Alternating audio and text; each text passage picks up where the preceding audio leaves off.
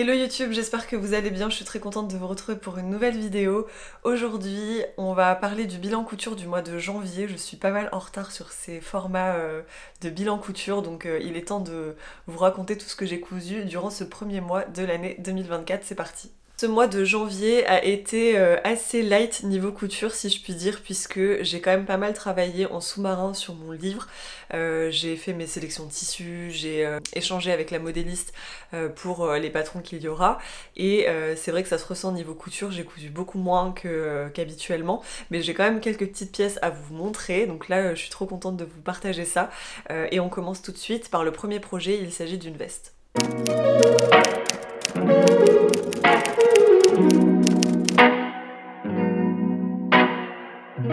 Alors cette première veste, il y a trois vestes en tout dans ce bilan couture, donc j'ai peu cousu mais j'ai fait des projets quand même assez techniques. Euh, la première veste, c'est la veste Elodie de chez Maëlie Paris. Je vous en ai parlé sur Instagram, vous l'avez sans doute vu passer si vous me suivez assidûment euh, là-bas.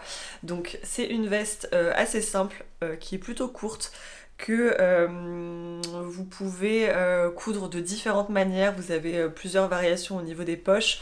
elle se caractérise par une manche raglan. elle a un petit col comme ça qui est hyper mignon. Elle est totalement doublée. Donc moi j'ai choisi de pas mal... comment dire, accentuer les découpes de la veste avec un biais contrastant.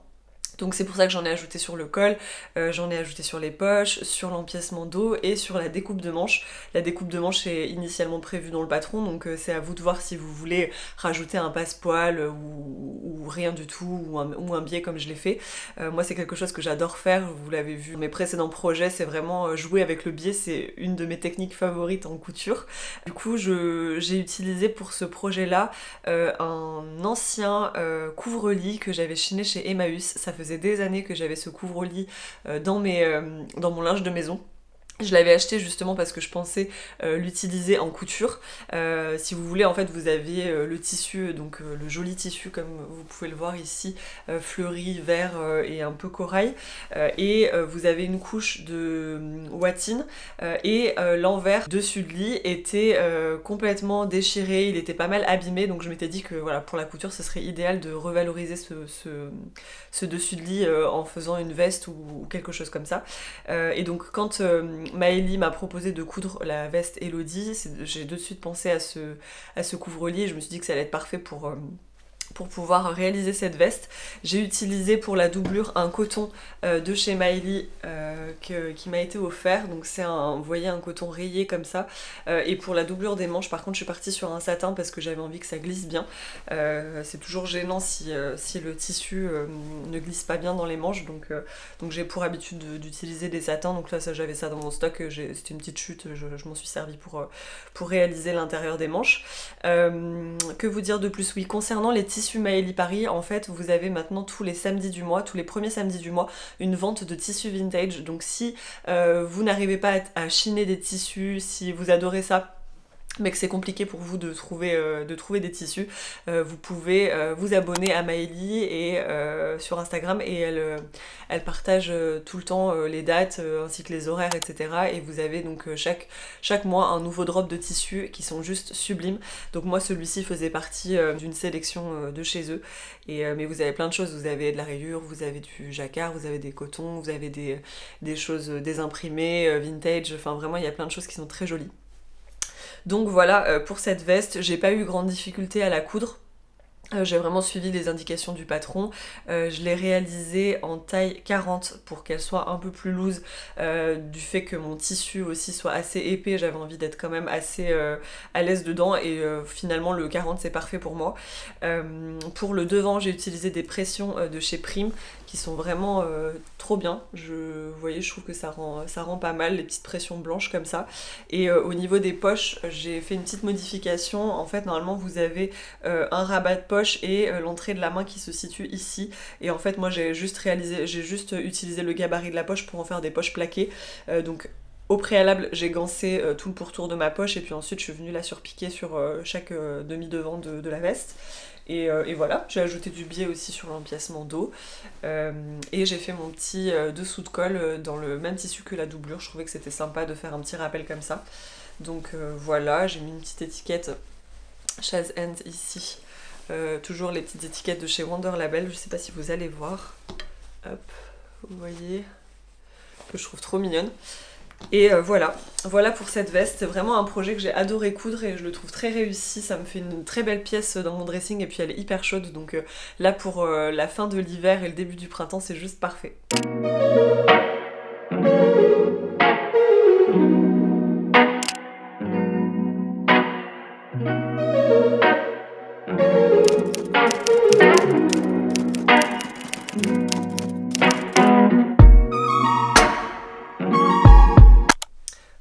Projet couture, vous avez sans doute, vu passer ça sur Instagram là encore.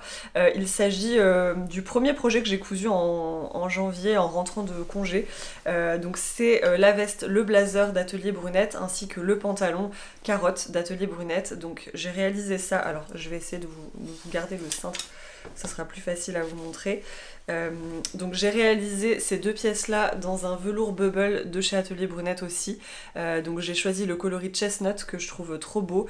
En fait, euh, ça, rend une couleur vieux rose euh, plutôt que la, vraie couleur chestnut qu'on pourrait appeler un peu écureuil, euh, enfin dans les tons un peu marron, là finalement c'est vraiment vieux rose, euh, donc je la trouve trop trop belle, elle est vraiment oversized, donc là aussi je l'ai cousue en taille 40 parce que je voulais une pièce qui soit très loose, et j'ai gancé tous les, toutes les coutures, vous voyez, avec du biais de chez Atelier Brunette aussi.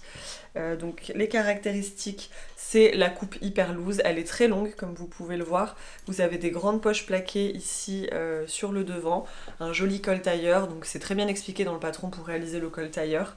Et euh, franchement pour une veste de ce style, je trouve qu'elle se coud vraiment euh, facilement et rapidement. À mon avis, ce sera pas ma dernière parce que je la trouve vraiment hyper chouette portée, le résultat final est, vraiment cool. Et pour aller avec, j'ai cousu du coup le pantalon carotte.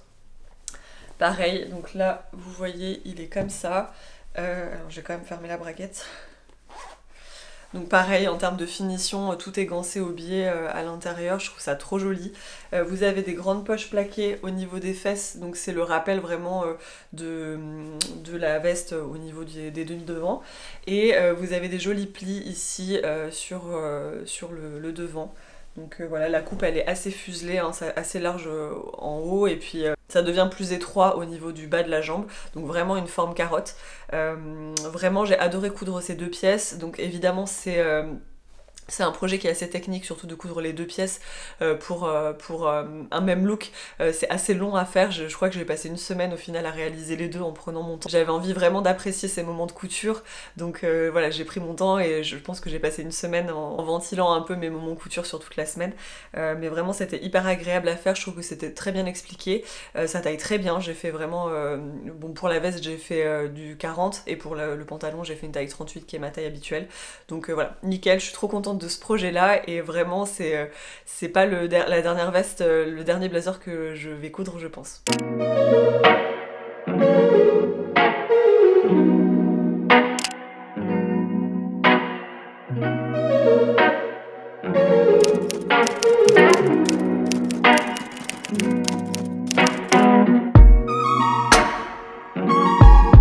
Ensuite, un projet très rapide. Vous le savez, je suis une grande fan de jupes dans le biais. J'en ai déjà cousu deux euh, à mon actif, notamment une verte euh, satinée dans un crêpe de la Tissutech de Charlie. Et euh, j'avais aussi réalisé une version en viscose léopard de chez Wasted Fabrics. Et il manquait à mon palmarès une jupe dans le biais noire, vraiment intemporelle et basique. Franchement, le genre de jupe que vous pouvez porter tout le temps. et en fait, c'est le fait d'avoir terminé le tricot de mon pull céleste de fil qui m'a fait euh, me lancer dans ce projet couture que j'avais depuis très longtemps en tête. Je vous en avais parlé d'ailleurs dans ma vidéo euh, des euh, des 10 projets que j'avais envie de réaliser avant la fin de l'hiver. Euh, euh, et, donc je suis passée à l'action en réalisant euh, cette, cette jupe là pour pouvoir shooter mon pull fil d'art même si les deux pièces peuvent être dissociées et portées séparément évidemment. Ça a été l'occasion que je me lance et que je me motive à la réaliser. Donc ça rend pas grand chose comme ça mais évidemment je vous mettrai pareil les photos je vous les insérerai dans la, dans la vidéo. donc comme vous le voyez, elle est coupe midi. Vous avez une finition à l'intérieur élastiquée. vous avez deux jolies pinces au dos qui permettent de faire une belle cambrure au niveau de, bah, des fesses. Euh, j'ai réalisé des coutures anglaises à l'intérieur pour que ce soit vraiment, euh, vraiment parfait en termes de finition. Alors je vous montre ça. Euh, vous voyez les coutures anglaises ici. Et j'ai réalisé un petit tourné mouchoir pour l'ourlet du bas.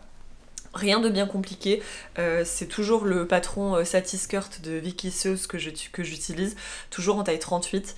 Euh, vraiment c'est mon, patron favori de jupe dans le biais, enfin j'en ai pas testé d'autres mais je suis tellement satisfaite de celui-là que voilà, à quoi bon aller voir ailleurs. donc voilà, je suis très contente d'avoir réalisé cette jupe là, je la porte énormément que ce soit avec un petit chemisier, que ce soit avec un gros pull, avec des collants, des ballerines, des bottines, vraiment ça va avec tout c'est une pièce que je trouve hyper versatile euh, euh, et, elle fait une silhouette euh, juste hyper élégante et, très féminine. Donc franchement, dès que je porte ça, je me sens tout de suite hyper jolie. Donc ça, c'est plutôt bien. voilà pour cette jupe dans le biais. pour l'instant, j'en ai pas forcément d'autres en tête. je trouvais que la, la, noire manquait vraiment à mon dressing. Donc voilà, c'est chose faite et je suis très contente de l'avoir réalisée.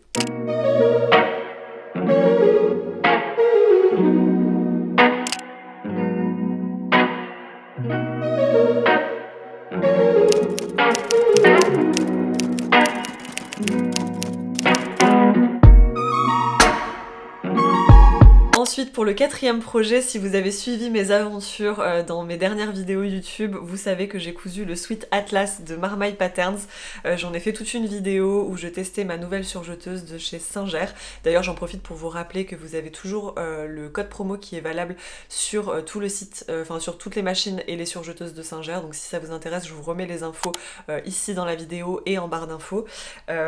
donc le petit Sweet Atlas de chez Marmaille Patterns que j'ai porté là pendant toutes mes vacances de février. Je suis partie euh, un peu dans la famille euh, et, je l'avais emmené avec moi et clairement, je, voilà, aussi bien pour sortir que pour rester à la maison, euh, je l'ai porté sans, sans condition en fait. Vraiment, je le trouve trop chouette. Alors les caractéristiques de ce sweat à la base, Marmaille Patterns, c'est une marque que j'ai découverte sur le CSF, je vous en avais parlé dans mon retour de hum, hall du CSF, euh, où j'avais craqué sur, euh, sur ce kit-là.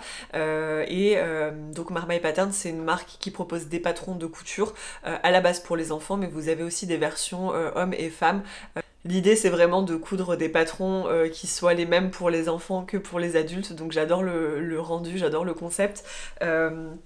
Et donc j'ai choisi euh, ce sweat Atlas version euh, col euh, chemisier comme ça, je trouvais ça hyper élégant. Vous avez aussi une version avec un gros col camionneur, donc ça ça va être un prochain projet couture que j'ai hâte de réaliser dans, un, dans un French Terry Liberty que Motif personnel m'a envoyé, il est juste sublime, faut que je me mette, faut que je m'y mette incessamment sous peu.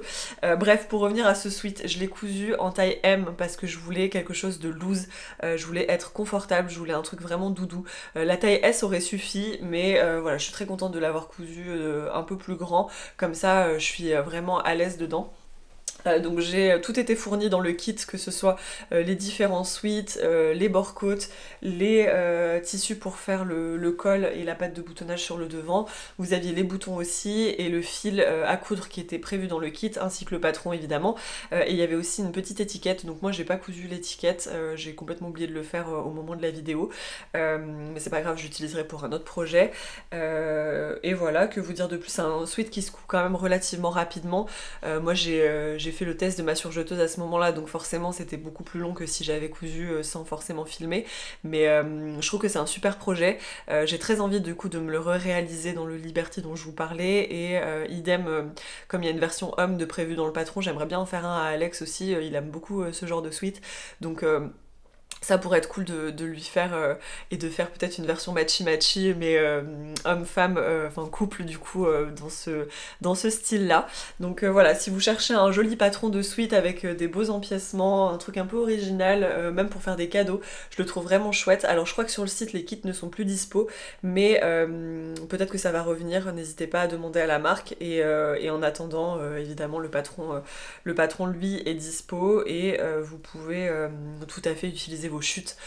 si vous avez des, chutes de suite, de French Terry pour réaliser, pour réaliser ça, c'est hyper cool parce que comme il y a plein d'empiècements, ça vous permet de, de, bah, de valoriser vos chutes de tissu. Donc voilà pour ce petit suite Atlas.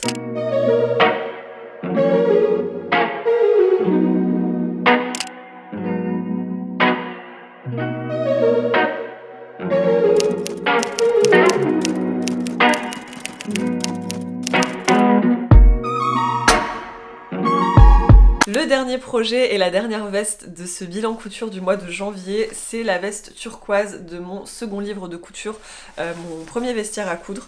Euh, j'avais très envie d'une doudoune un peu façon Gani, pareil je vous en avais parlé dans mon dans les 10 projets là que j'avais envie de réaliser avant la fin de l'hiver. Euh, finalement j'ai bien avancé hein, sur ces, sur ces projets là même si j'ai pas tout fait. De toute façon c'était pas forcément une liste exhaustive mais Bref, j'ai quand même bien entamé la, liste. Euh, et je suis très contente du coup d'avoir euh, réalisé cette doudoune parce qu'elle est hyper euh, hyper confortable. Et vraiment ça manquait à mon dressing d'avoir quelque chose comme ça de confortable et aussi de d'adapter à la pluie parce que clairement là on a eu des trompes de pluie sur les dernières semaines. C'était quelque chose. bref, j'ai pas pu la shooter celle-ci parce que alors je l'ai emmenée en vacances, je l'ai terminée avant de partir en vacances. Je m'étais dit très bien, je la shooterai pendant pendant mes congés. Et finalement j'ai toutes les pressions les les, pressions ici, euh, je sais pas si c'est les mâles ou les femelles, mais c'est celle, vous savez, avec le petit, euh, le, enfin, qui, le contraire de celle-ci en fait, qui se sont euh, défaites pendant que je portais le, ma doudoune, parce que je la portais sans forcément vouloir la shooter, mais voilà, le jour, le jour où je l'ai porté, euh, tout, s'est euh, détaché. Donc, impossible de la shooter telle qu'elle.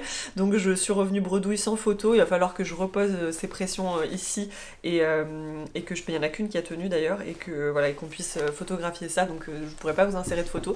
Mais j'essaie de vous montrer quand même à quoi ça ressemble. Donc, la veste turquoise. En fait, je suis partie sur ce patron-là parce que je voulais vraiment une emmanchure raglan. et la veste turquoise, c'est une veste qui est assez simple, vraiment basique dans mon livre la seule chose que j'ai faite, c'est que j'ai rallongé au niveau de la longueur parce que normalement c'est une veste qui est assez courte. Euh, moi je voulais une, veste un peu trois quarts.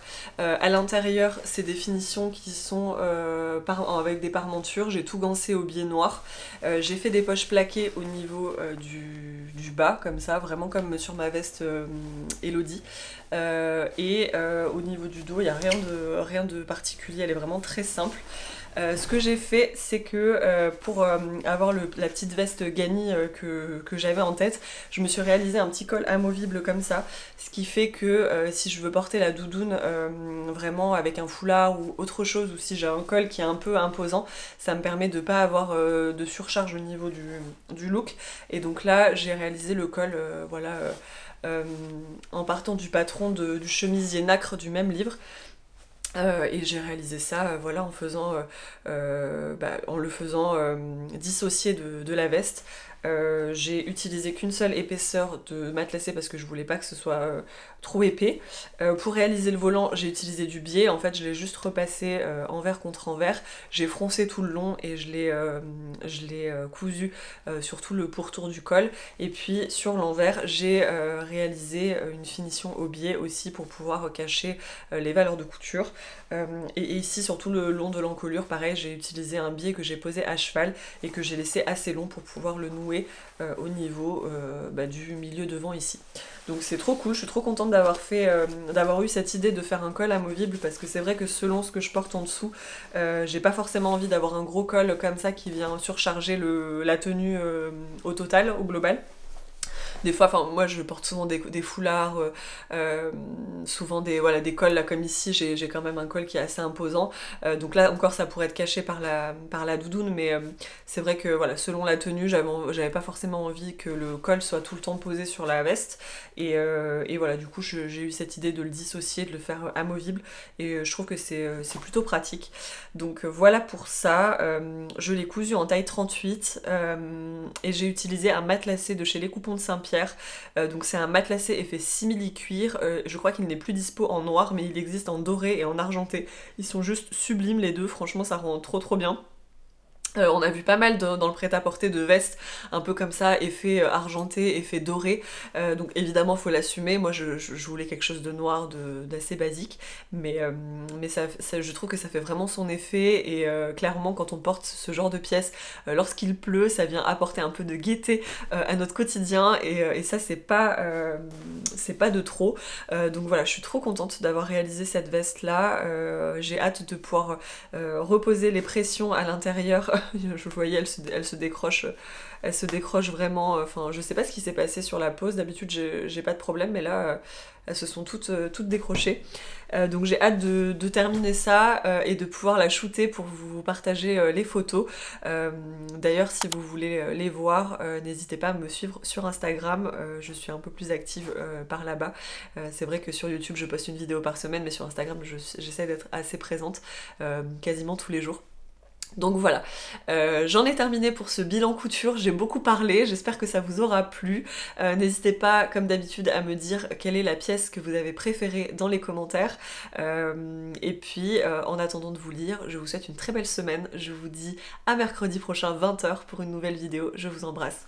Bye bye.